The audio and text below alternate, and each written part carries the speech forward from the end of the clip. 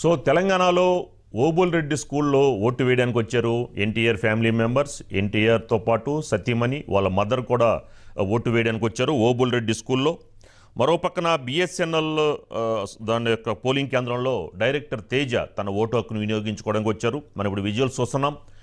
ఎన్టీఆర్ ఎన్టీఆర్తో పాటు ఎన్టీఆర్ సతీమణి ఎన్టీఆర్ గారి యొక్క తల్లి కూడా ఈ ఓటు హక్కును వినియోగించుకోవడానికి ఓబుల్ రెడ్డి స్కూల్కి వచ్చారు.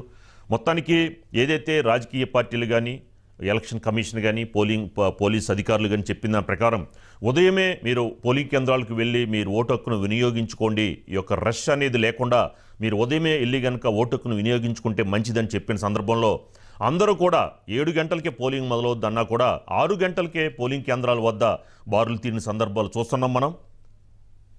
మరి ఇప్పుడే సెలబ్రిటీస్ అందరూ మొదలయ్యారు. ఆల్రెడీ ఓబుల్ రెడ్డి స్కూల్లో మరి ఎన్టీఆర్ విత్ వైఫ్ విత్ మదర్తో కూడా ఆయన పోలింగ్ కేంద్రానికి రావడం జరిగింది. మరో పక్కన బిఎస్ఎన్ఎల్ పోలింగ్ కేంద్రాలను కూడా డైరెక్టర్ తేజ పోలింగ్ ఓటు హక్కును వినియోగించుకోవడానికి వచ్చారు. దీనిపైన మనకి మరింత ఇన్ఫర్మేషన్ మా కరస్పాండెంట్ మధు అందిస్తారు. మధు. మొత్తానికి